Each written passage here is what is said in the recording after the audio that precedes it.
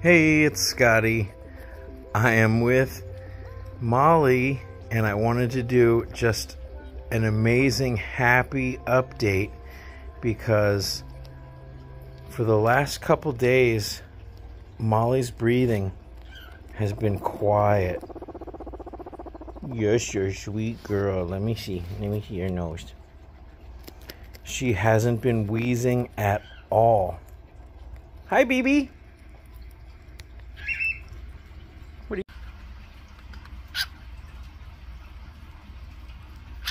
BB, is that your lettuce?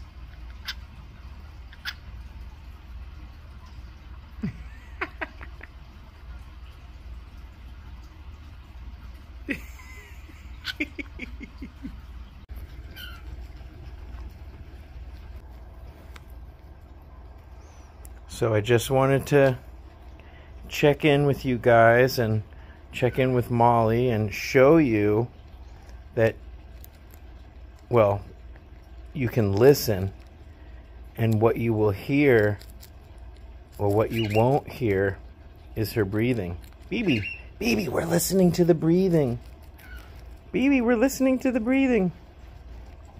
She's been very quiet.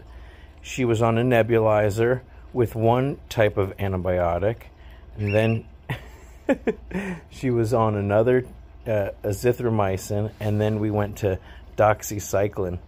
That's it. You ate it too fast. Now you just get scratches. Her ears are still sensitive. Um, and I'm going to monitor her for just another couple weeks. That's what I'm telling myself. No, I really want her to find a friend, and um, I can't have a bunch of girls here. Molly, Molly, back up. Hey, hey.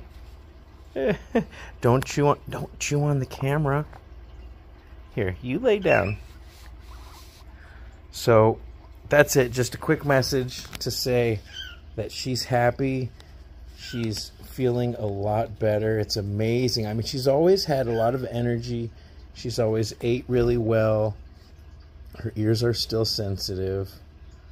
Um, maybe I'll give her an ear cleaning. And I gave her one bath and a nail clip. But maybe now she can have a real spa day now that her breathing is better and I'm not so concerned.